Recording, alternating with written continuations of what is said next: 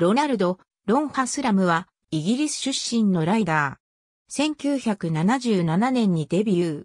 1979年鈴鹿8時間耐久ロードレースで2位を獲得。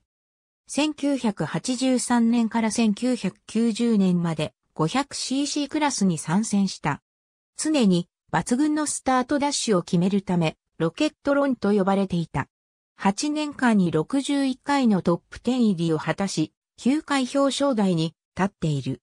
マシン開発能力にも長けており、1986年から1988年には、エルフプロジェクトでライダーを務めた。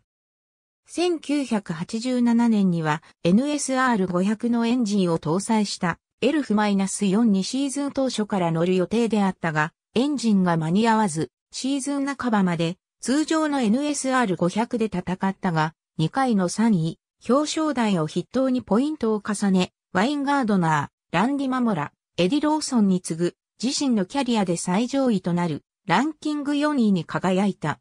この他にマンシマで行われる行動レースのマンシマ TT レースでも勝者となった。1993年現役引退。現在はザ・ホンダロンハスラムレーシングアカデミーを営む。長く濃いもみあげと胸毛がトレードマークだった。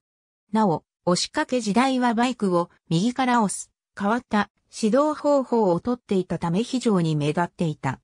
息子のレオン・ハスラムもライダーであり、現在はスーパーバイク世界選手権で活躍している。